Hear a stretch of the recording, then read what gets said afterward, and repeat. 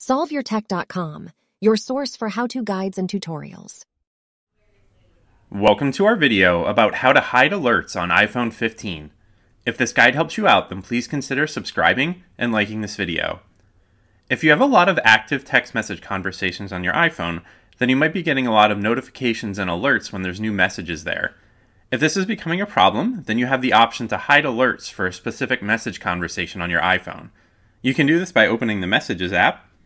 You can then swipe to the left on the conversation for which you would like to hide alerts, and then you can tap the mute button here.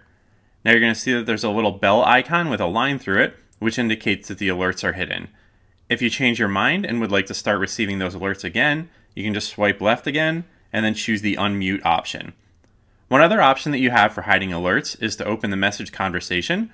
You can then tap the name of the conversation at the top of the screen, and then you can tap the button to the right of Hide Alerts, which is also going to uh, prevent you from seeing the notifications for this conversation. You can go back to the main messages menu and you'll see that bell icon there. If you would like to hide alerts for an entire app, then you can do this by opening the Settings app. You can then scroll down and select the Notifications option and then you can scroll through the list of apps until you find the one for which you would like to hide your which you would like to hide the notifications. And you can just tap on that and then tap the button to the right of allow notifications to turn that off and then you'll no longer receive notifications from that app. Make sure to like this video and subscribe to our channel to see more tech guides like this one. For additional information on this topic and to read the entire article, click the link in the description to visit solveyourtech.com.